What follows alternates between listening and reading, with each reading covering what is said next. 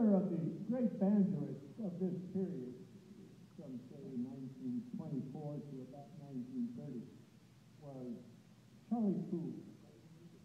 The golden age. And actually, the golden age of banjo started when you were born.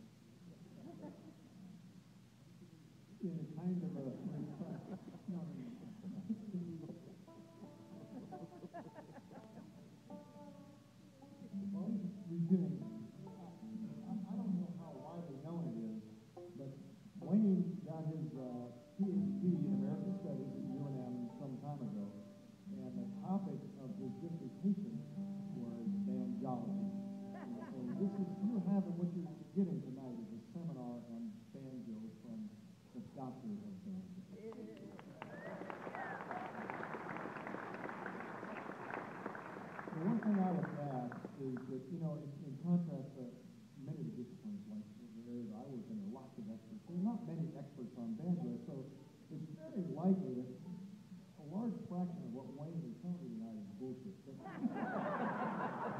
There's nobody to check so- Yes, but his footnote is bullshit.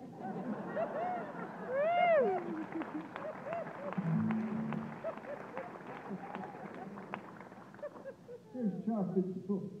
Charlie Poole was a wonderful banjo player. He could play some of the old classic pieces in a simplified fashion, but he only did that when he had a piano player, and he only did that when the market for older songs went away.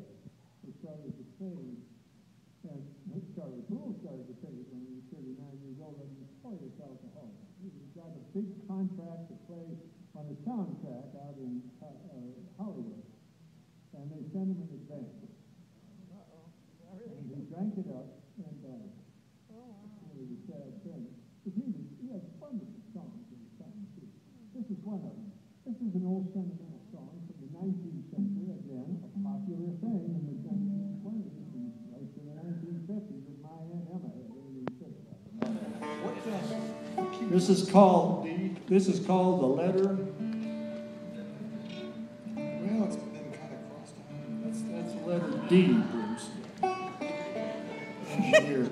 This is called the letter that never came. Let's see. What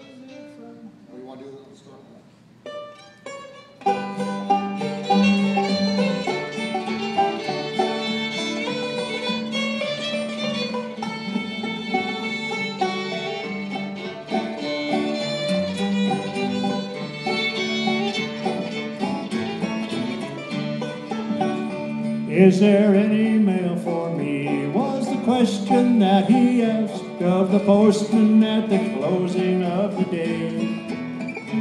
Then he turned his head and sighed, and a tear welled in his eye. He drooped his head and slowly walked away. Was it from a gray-haired mother, or a sister,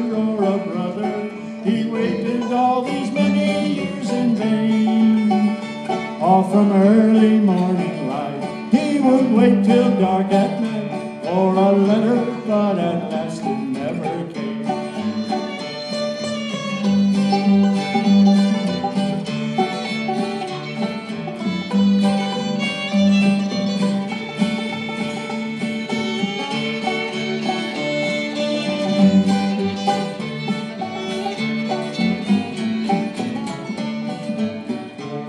As he waited all those years, joy had mingled with his tears. His poor heart had drifted with the tide. In his hand he held a note, and these simple words he wrote If a letter comes, then place it by my side. Was it from a gray haired mother, or a sister, or a brother? He waited all these many years